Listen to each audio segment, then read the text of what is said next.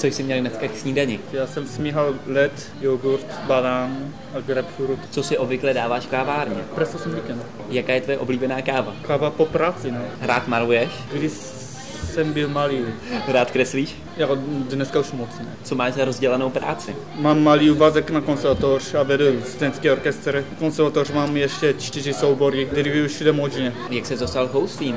Když byl mi čtyři, koukal jsem na televizi a byl televizní koncert NHK Symphony Orchestra, nejlepší orchestr v Japonsku. A zamiloval jsem do kontrabas. Říkal jsem tátovi, že chci ho- hrát na tenhle nástroje a táta myslel, že si myslel, že to je velký housle, tak začal jsem na housle. To jsi začal studovat v Japonsku, ty housle? Takhle, konservatoř v Japonsku je jenom pouze tři roky, tak ještě jsem byl docela mladý, tak já jsem rozhodl, že jedu do Evropy, do Prahy. No. A to bylo v kolik, když jsi, když jsi přijel do Prahy?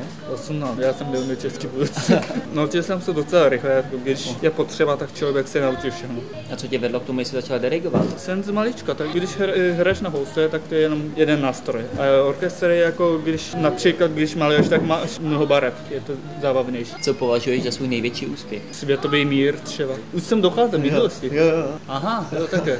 No tak nic, no. Že jsem měl skvělého tátu a ještě jsem měl skvělého profesora, mimochodem jmenuje se pan profesor Pospíšil. Kde se vidíš za deset let? Můj sen do budoucna je dirigovat kompletní symfonii Šosoviče a Martiny a světový mír. Jaká je tvoje nejoblíbenější kavárna? To je Umpum, to je na, naproti konzervatoř a tam strašně rád chodím. A ještě kafe Hamu, tam vaří výborně, to je nejlepší místo na Hamu. Zbal jsi někdy nějakou holku v kavárně? Ne, ne, ne, už mám svou srdčem pět let. A jak jste se poznali? Na koncertoře. Nejdřív ona se mi líbila, eh, pak jsem začal pozvat na svoje koncerty nebo eh, koncert České filharmonie. A eh, já si pamatuju, první koncert byl takový nešťastný program, pátá symfonie Brucknera, eh, docela náročná symfonie, tak ona vypadá strašně jako nudně, jako musel jsem vybrat jiný program.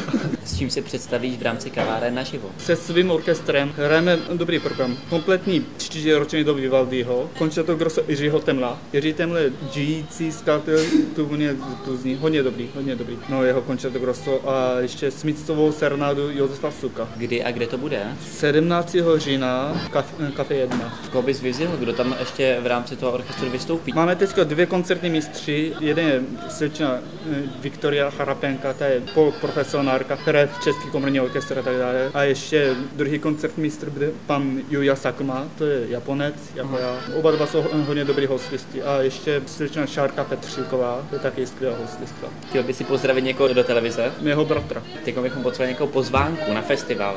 Přišli na kavarní na živo, bude plnění krásné akci, právě s Kubou Borbanským. Těšte se.